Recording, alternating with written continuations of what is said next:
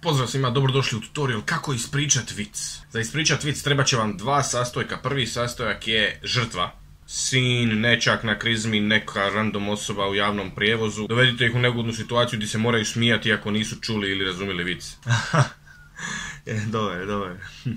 Drugi sastojak, naravno, vic sam. E, vic se započinje frazom slušaj ovaj ili frazom kaže. I frazom kaže se konstantno uspostavlja na novo vic u, procesu samog pričanja. Slušaj ovaj, kaže, bija, kaže, mali Ante iz Imotskog, naravno jako dobro je imati stereotip, ako ne prebirete po Amerikancima, Njemcima i Bosancima, idealan je mali Ante iz Imotskog. Pauza. Dramatična pauza je jako bitna u pričanju vica. Znači, bija mali Ante iz Imotskog u školi i koliko vas neko prekine i pita je li to onaj vic koji za... morate ga odmah vratiti, nemojte mu odgovoriti, vraćate ga frazom slušaj, slušaj.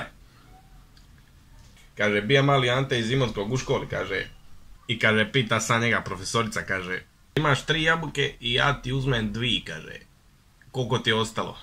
Kaže mali Ante njoj, kome ćeš ti uzeti dvi jabuke?